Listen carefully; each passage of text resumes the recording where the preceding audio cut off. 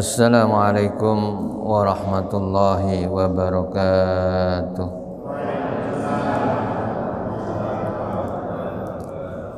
Bismillahirrahmanirrahim. Alhamdulillah rabbil alamin.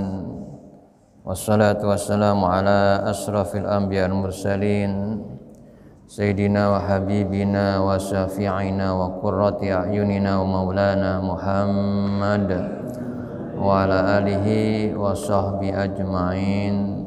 Wa la hawla wa la quwata illa billahil alil azim. Amma ba'd. Jamaah rahimakumullah mari kita mulai pengajian bacaan surat al-fatihah. Semoga kita senantiasa diberikan hidayah ma'unah serta kesehatan lahir batin oleh Allah Subhanahu wa taala sehingga kita bisa istiqomah dalam beribadah dan semoga keluarga kita jamaah kita yang mungkin saat ini masih diberikan sakit diuji oleh Allah dengan sakit segera diberikan kesembuhan oleh Allah Subhanahu wa taala. Al-Fatihah A'udzu billahi minasyaitonir rajim Bismillahirrahmanirrahim. Alhamdulillah Ar-Rahmanir Rahim Maliki yaumiddin Iyyaka na'budu wa iyyaka nasta'in Shiratal mustaqim Shiratal ladzina an'amta 'alaihim ghairil maghdubi 'alaihim waladdallin. Bismillahirrahmanirrahim. Faslun fasal. Al-muradu minadzikri khudurul qalbi. Maksud dari zikir atau tujuan zikir itu adalah khudurul qalbi. Hadirnya hati. Atau konsentrasi. Di khudurul qalbi. Hayam bagi dan seugjanya maka seugjana ayyakuna hendaknya ia menjadikan huwa orang yang berzikir. Ya, zikir itu maksud zakiru tujuan daripada orang yang berzikir itu adalah fayakhrusu ala taksilihi maka ia berusaha untuk memperoleh taksilihi hasilnya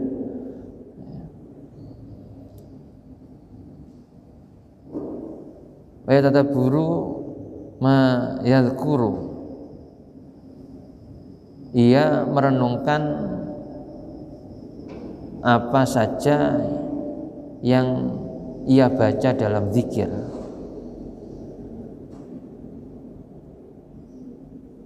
Takilu maknahu dan memahami maknanya artinya hadirin maksudnya begini zikir kalau kita zikir itu harus benar-benar bisa konsentrasi hati kita. Jadi apa yang kita ucapkan itu sambung dengan hati. Jadi kemarin kan zikir itu dengan hati dan lesan. Ini harus menyatu. Dia harus benar-benar khudur hatinya. Hatinya ikut hadir bukan hanya ucapannya saja. Sehingga tujuan apa yang kita baca dalam wirid, dalam zikir itu bisa kita peroleh.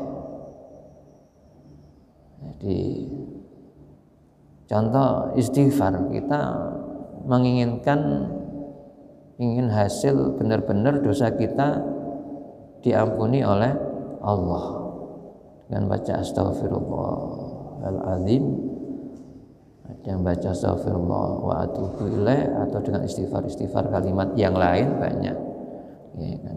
intinya istighfar itu astagfirullah nah ketika kita mengucap istighfar astagfirullah itu hati kita hadir ya. ikut gerak ya. kemudian merenungkan apa yang dibaca benar-benar merenungkan kesalahan dosa yang kita miliki ya. Kemudian kita minta ampun mohon ampun kepada Allah. Antara lisan hati ya, dan pikirannya ya, benar-benar ya bisa sambung konsentrasi benar. Jadi bukan kita baca istighfar tapi hati kita tidak sambung, pikirannya di luar, mikirkan ya pekerjaan apa pekerjaan rumah tangga atau pekerjaan sehari-hari atau mikirkan yang lain. Nah, ini berarti tidak sambung. Ya. Nah kalau semacam itu ya wallahu alam diterima apa tidak berhasil apa tidak ya Allah alam karena ya, lesannya dengan hati dan pikirannya nggak sambung.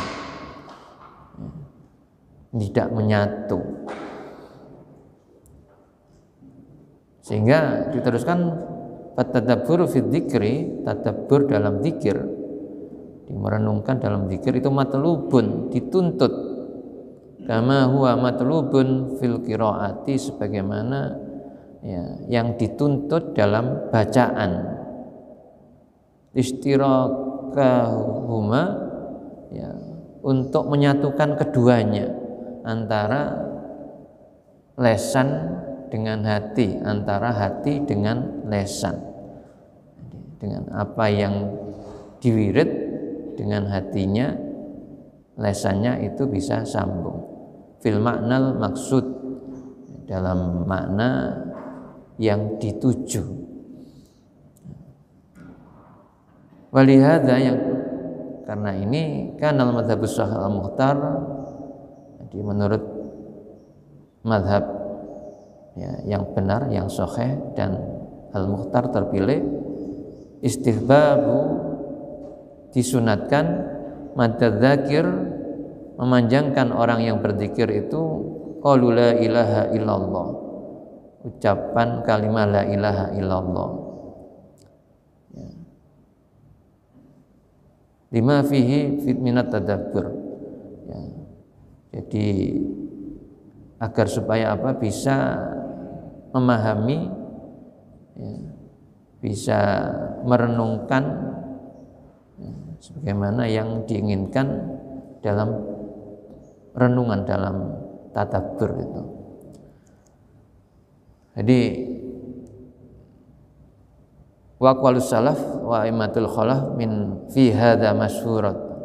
Jadi ini pendapat para ulama salaf ya para imam khalaf yang demikian ini adalah masyhur. Ya, dalam hal ini adalah masyhur. Di menurut ulama salaf dan kholaf ya, itu disunahkan ketika kita zikir membaca kalimat la ilaha illallah itu dipanjangkan.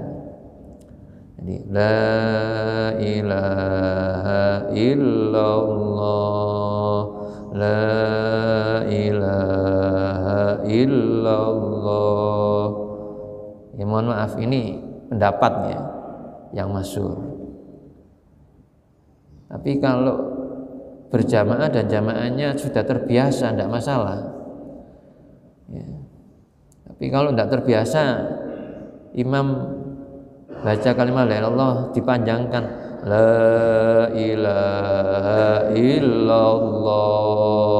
La ilaha illallah. Yang nggak terbiasa kapan mari ini kan gitu kan? Ya. kapan selesainya? Padahal masih ada urusan atau pekerjaan yang lain ya, kadang-kadang orang itu berjamaah ya, dengan wirid. Ya yang menurut saya ya, tawasud yang baik itu menurut pribadi saya itu adalah tawasud ya tengah-tengah terlalu cepat dan tidak terlalu ya, lama ya. ya memang dengan memanjangkan kalimat zikir itu bisa kita menyatukan hati dan pikir. Ya. Benar-benar kita bisa tadabur ya. Kemudian akal kita juga bisa memahami ya, apa yang kita ucapkan. Ya itu kalau sendiri monggo. Ya. subhanallah subhanallah. Ya, 33 kali dibaca pelan-pelan. Kalau sendiri ya monggo tapi kalau berjamaah sebaiknya tawasud ya, jadi ya, tengah-tengah. Hal umur satu. Itu pendapat pendapat saya. Kalau bersama-sama berjamaah. Ya. sehingga mohon maaf biasanya ibu-ibu itu memang senang yang lama gitu ya. Kalau yasinan tahlilan istighosa itu memang lagunya beda dengan yang bapak-bapak ya.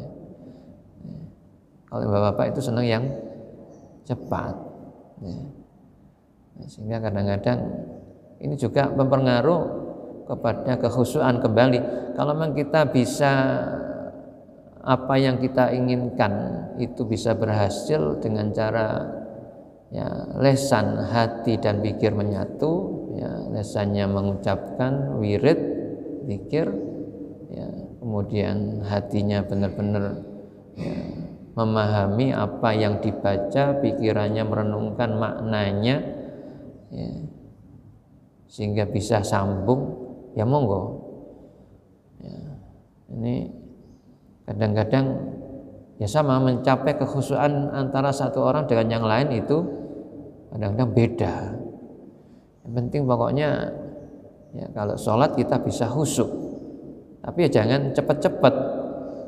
Saya terus biasa kalau nggak cepat nggak khusyuk. Kemudian jadi imam. Sebagaimana yang dilakukan ketika munfarid sendiri. Ya makmumnya keteteran ya. Jadi, jadi kalau dijadikan imam ya harus yang, sebaiknya tawasud itu jadi tengah-tengah. Ya tidak terlalu cepat dan tidak terlalu lama ya. hadirin rahimakumullah sehingga apabila kita mungkin menginginkan membaca sebagaimana yang dianjurkan oleh para ulama tadi ya, dengan baca memanjangkan kalimat-kalimat yang panjang ya, seperti la ilaha illallah itu kalau ditajwidkan kan la itu huruf mat ketemu ilaha huruf hamzah itu ya majais munfasil ya jadi panjangkan ya, dua setengah alif ya.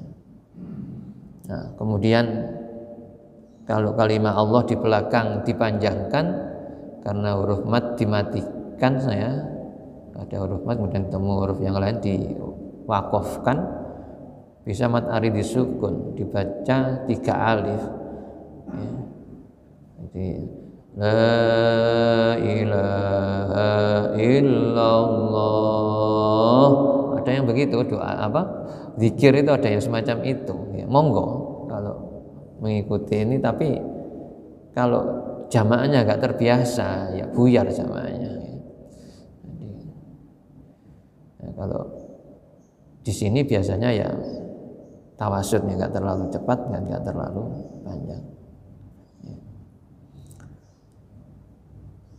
Jamaah wallahu alam dan Allah yang lebih tahu. Ya. saya teruskan. Faslun fasal. Yang bagi liman kana lahu wadhifatun min dzikri fi waqtin min lailin aw naharin. Hal ini menerangkan seyukjanya bagi orang yang zikir ya orang yang zikir al-zakir itu wazifatun terbiasa atau hendaknya ia menetapkan bisa menentukan ya, membiasakan minat zikir dari zikirnya dari wiridnya fi waktin dalam waktu min lailin au naharin baik malam maupun siang au iko bisolatin atau sesudah sholat ya. Au khalatun akhwal atau dalam keadaan ya apa saja keadaan bagaimanapun Fafatathu ayyatadarokaha ya, hendaknya ia memutuskannya untuk bisa melakukannya. Jadi wayati biha idza tamkunu minha wala yahmaluha. Jadi begini. Orang yang membiasakan wirid atau zikir ya itu dalam waktu-waktu. Kadang-kadang saya harus mengamalkan ini ya, pada jam ini pada waktu ini. Sesudah sholat maghrib dan sudah sholat subuh. Ada zikir yang memang waktunya ya harus dibaca pada waktu itu umpama semacam itu. Ya. atau zikir itu atau wirid itu dibaca ya setelah tengah malam. Tengah malam. Maka yang demikian ini jamaah harus dibiasakan. Harus dibiasakan waktu-waktu itu ya sesuai ya dengan yang sudah ditentukan. Sehingga sudah terbiasa pada waktu-waktu itu. Pada waktu-waktu itu. Hadirin rahimakumullah kalau wirid yang sudah ditentukan waktu-waktunya apakah itu malam apakah itu siang ya, kemudian ternyata dalam suatu waktu kita nggak melakukannya ya fafatatu kemudian putus ya itu darakaha untuk memperolehnya untuk melakukannya. Maka wayati biya idam kunum wala yahmaluha. Supaya kita melakukannya ya waktu yang lain. Jadi tidak membiarkan ya, apa zikir itu hilang. Zikir itu nggak dibaca dalam hari itu. Jadi agar supaya wirid atau zikir itu tetap ya kita baca walaupun andaikan kita berhalangan pada waktu-waktu tertentu dalam keadaan tertentu apakah itu malam atau siang ya, atau sesudah sholat atau dalam waktu-waktu yang lain yang sudah ditentukan tadi itu ya maka jangan sampai kita tinggalkan begitu saja, kita biarkan begitu saja. Fa inna idza i'tadal mulazama ti lam yu'arriduha litafwid. Ya, sehingga kita harus mempersiapkan, membiasakan ya tetap terbaca, jangan sampai ditinggalkan begitu saja terputus. Ya. Nah, caranya bagaimana? kita ganti waktu yang lain. Andaikan itu ditentukan malam hari tadi Mbak setelah pertengahan malam ternyata sampai subuh ya kita tertidur itu bisa diganti di siang hari. Jangan begitu saja ditinggalkan di hari itu. Ya. andaikan wirid itu harus dibaca setelah maghrib.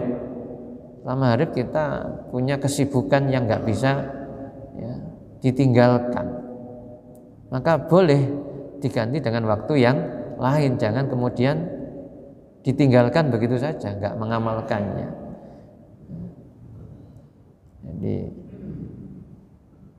wirid itu yang sudah ditentukan waktunya andaikan tidak melakukannya ya, seyukjanya diganti dengan waktu yang lain ya. Sama saja jadi ya karena uzur. Ya jadi kalau sudah semacam itu kan termasuk dalam apa eh, ad-daruratu tubihul mahdurat itu ya. Jadi termasuk bisa ke sana karena darurat. Ya sehingga mereka tidak mengamalkannya itu ya bisa dengan waktu yang yang yang lain. Jadi bisa waktu yang yang lain. Ya. jadi di waktu yang lain itu insya Allah ya dicatat sama saja ya. Kita melakukannya mengamalkannya sehingga bisa tetap istiqomah dalam mengamalkan zikir atau wirid. Dan kita tidak boleh weda tasahala fi qadaiha saula alaihi tujai'uha fi waktiha tidak boleh menggampangkan ya, untuk mengkodoknya. Dalam arti begini kalau sudah punya wirid dan sudah tentukan waktunya ya harus diusahakan benar-benar sesuai dengan waktunya. Jangan memudahkan oh bisa saja untuk diganti dengan yang lain. Jadi ini ya contoh yang terbiasa baca surat waqiah ya, setelah maghrib dan setelah subuh ya memang ya harus diusahakan ya benar-benar diamalkan setelah maghrib dan setelah subuh kecuali kalau memang ada uzur yang mendesak yang tidak bisa benar-benar ditinggalkan kegiatannya, kesibukannya, nah itu bisa diganti dengan waktu yang lain. Tapi nggak boleh menggampangkan. Ya. Ketika maghrib, ya mestinya membaca waqiah, tapi karena acara TV-nya ya api, gak apa kok tak ganti. Ya marisa ini ini gampang kan berarti. Yang demikian ya nggak dibolehkan kalau yang ini. Ya. jadi jangan sampai kalau orang itu bisa memudahkan sehingga akhirnya sia-sia. Ya saula alaihi fi waktiha ya. Sehingga dia memudahkan untuk zikir itu sia-sia dalam waktunya. Ya tadi menggampangkan itu sehingga waktunya sia-sia. Melihat TV itu termasuk laibun walah wun. Ya. jadi ini harus sedikit-sedikit kita pahami itu sehingga mana yang urgent ya, dalam kehidupan itu itulah yang kita amalkan kita kerjakan yang harus kita raih ya. Sabata fi sahih Muslim dan telah disebutkan dalam hadis sahih riwayat Imam Muslim an Umar bin Al-Khattab radhiyallahu an dari Umar bin Khattab radhiyallahu an qala berkata qala Rasulullah SAW Rasulullah SAW bersabda man nama an hizbihi an syai'in au an syai'in minhu barang siapa yang tidur ya tertidur ya, tidur. An hizbihi dari hizibnya dari zikirnya atau an syai'in dari wirid zikir yang lainnya minhu ya. Faqara'ahu ma baina salatil fajri. Maka hendaknya membaca ia membacanya. Ma baina salatil fajr di antara sholat fajar wa sholat zuhri dan sholat zuhur. Jadi andaikan kok malam kita tertidur hati itu ya ternyata lelap sampai subuh baru ya, bangun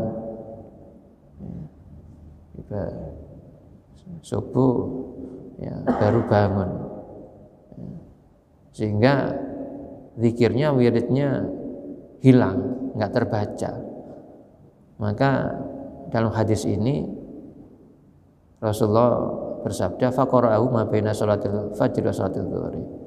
Ya. maka ia membacanya di antara sholat fajar dan sholat zuhur bisa diganti setelah sholat subuh ya sampai dengan waktu zuhur. Jadi berarti bisa diganti dikodok waktu siang. Kutibalahu dicatatnya baginya karena nama korahu minal lail. Sebagaimana ia membacanya ya, zikir ya pada waktu malam.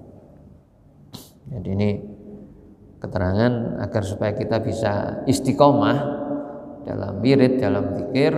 Ya, kalau memang andaikan ada yang karena sesuatu hal ya, yang dibolehkan ya oleh syarak menurut saya tidak seenaknya tidak menggampangkan tadi itu ya, maka bisa diganti dengan waktu yang lain.